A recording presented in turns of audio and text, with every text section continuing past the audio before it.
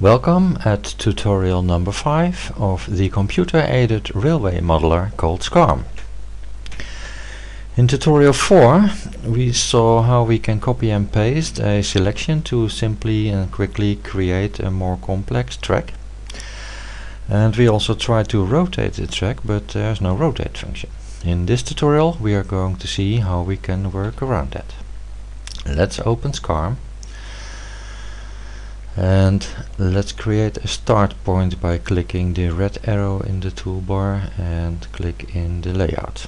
Let's just add one or two uh, straight tracks to that. And suppose that our task was not to have these straights horizontal but to have them on a 30 degree angle. Well the obvious way to think is that there could be or should be a rotate function but there isn't the workaround is that you simply create a start point with the correct orientation. The question is however how to do that. Well, there is a toolbox for that and we can uh, get to that via the tools menu and then toolbox. Uh, okay, over here we see a toolbox and the start point has x, y and angle coordinates.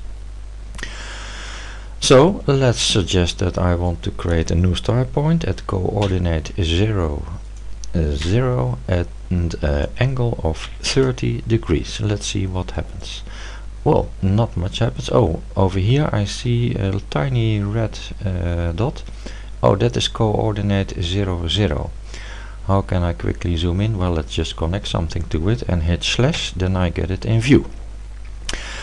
What I see, actually it is pointing down. I thought 30 degrees would uh, be pointing up, which is normal for clockwise uh, rotation. So what we learned now is that for some unknown reason SCARM has the degrees inverted.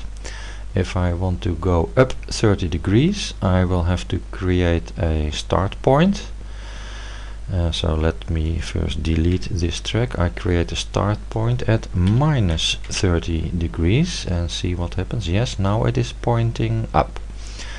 Let's pan a little bit. That is by middle clicking the mouse. Uh, let's now double click to select this track. Hit control left click and move and connect it to the start point and now you see we have neatly rotated our track. So it's not a very complex task. Suppose that I lay a new start point at 10, 10 and at a 45 degree angle. Uh, there it is. I simply uh, move my track, connect it and there you have the new orientation. So there is no need for a rotate function. You can simply type in the exact angle you need and connect the track to it. Okay, let's delete this and let's see how we can rotate a complete layout. In the previous tutorial we created a nice oval with two stations on it, two side tracks. I hit the uh, icon for file open and I find my tutorial back again.